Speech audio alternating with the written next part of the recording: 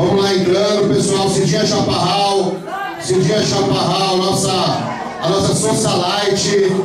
Socialite Cidinha Chaparral. Vamos entrando, pessoal. Vamos entrando, vamos entrando. Tudo bem? Pessoal, primeiro eu vou fazer aqui um, um, um agradecimento especial a. Vamos tocar aqui, Maurício. Um agradecimento a todos que estão aqui hoje, nesse início de campanha, a vereador. Um momento delicado da política, não só de São Caetano, mas de São Paulo, do Brasil, e que na verdade estamos aqui hoje para construir um novo caminho. É um renascimento da política é, de todo o país e que eu quero fazer parte dessa reconstrução, desse renascimento, que é tão importante.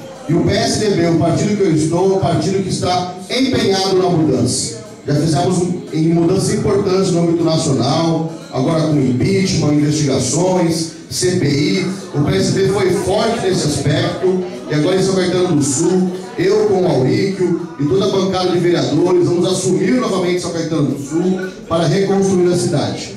Mas antes disso, quero fazer um convite aos jovens, que é muito importante.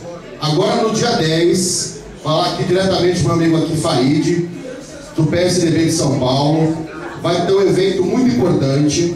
Convido você, jovem, dia 10 agora, às 6 da tarde, na companhia Matilde, na rua Senador Vergueiro, 551, atrás do Extra. O encontro com jovens com Aurílio 45. Jovem, não perca a oportunidade de dar suas ideias, suas sugestões, sua opinião. É muito importante para nós. Jovem, dia 10 agora, às 6 horas, Companhia Matilde, 45 e 45 100. Vem pra corrente do bem.